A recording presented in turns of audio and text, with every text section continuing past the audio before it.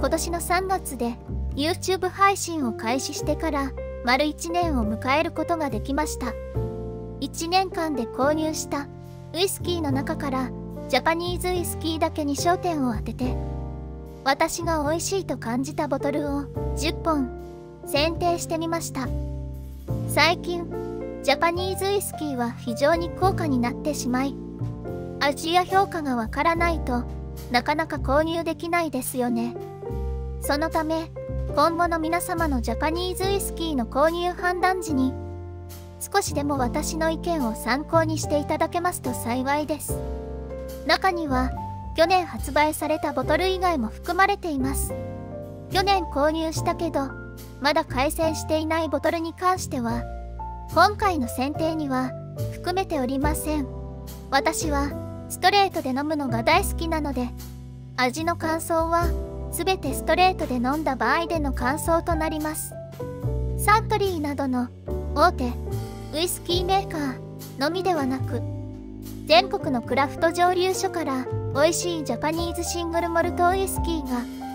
たくさん発売されているのでまだ知らない蒸留所のボトルなどがありましたらこれを機にぜひ覚えていっていただけると幸いです。ジャパニーズウイスキーはこれからさらに人気が高騰していくと思われますのでクラフト蒸留所のボトルも今からチェックしておきましょう。1本目各種12年。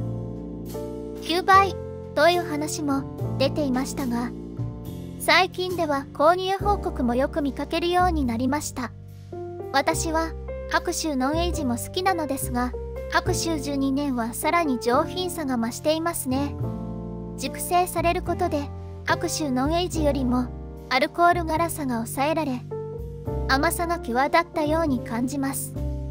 青りんごのような爽やかな感じのフルーティーさを感じますね。白州の特徴であるフレッシュ感は残しつつ熟成により角が取れているような印象となります。2本目カノスケ2022リミテッドエディション。2022年にカノスケ蒸留所から発売されたボトルとなります。加水されない樽から出されたままのアルコール度数の高いカスクストレングスであるため味が非常に濃いです。そのためアルコール度数が59%もありとても飲み応えがあります。キーモルトに使用されているシェリーダルの特徴がよく出ており色が非常に濃く独特な香味を感じさせる一品ですね。3本目サブローマルファースト。ザ・マジシャン。サブローマル蒸留所から発売された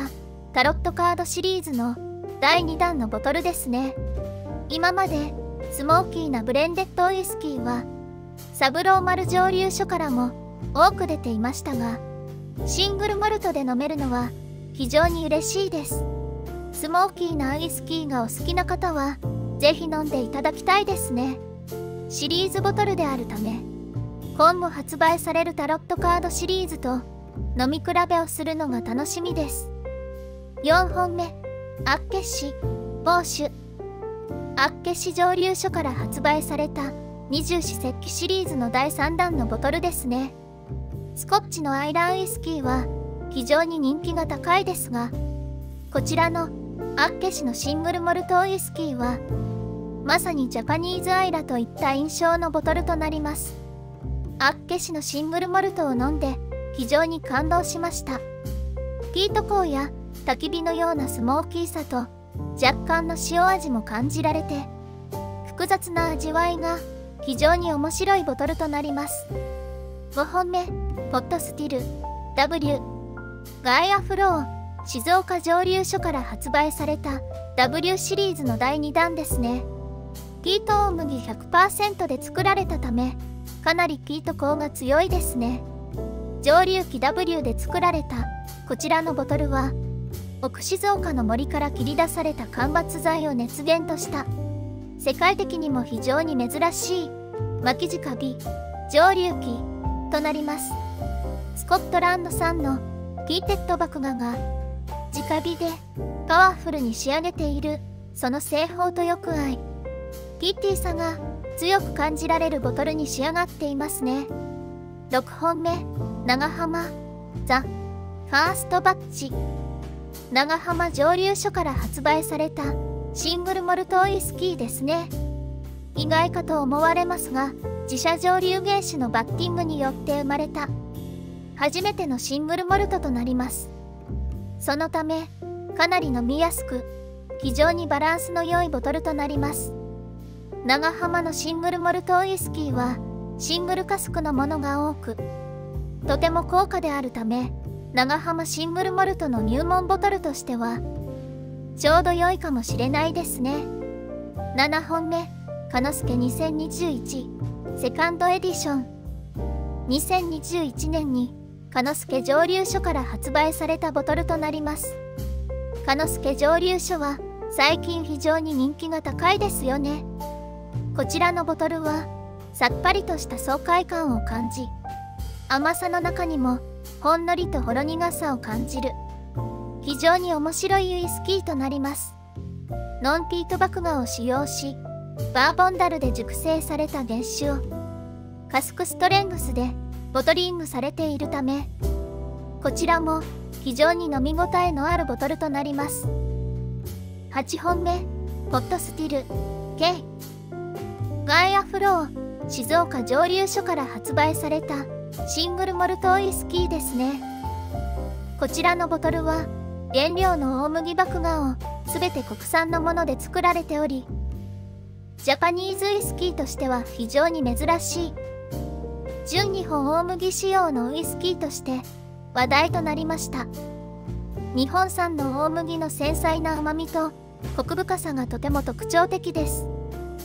蜂蜜のような甘さの中に果実のフルーティーさも感じる味わいとなります。静岡蒸留所のテロワールへのこだわりを非常に感じる一本となります。9本目ユザセカンドエディション。2022ユサ蒸留所から発売されたシングルモルトウイスキーですね。洋梨のようなフルーティーさとバニラのようなクリーミーな甘みが特徴的です。さらに私は小豆のような風味も感じとても面白いボトルだと感じました。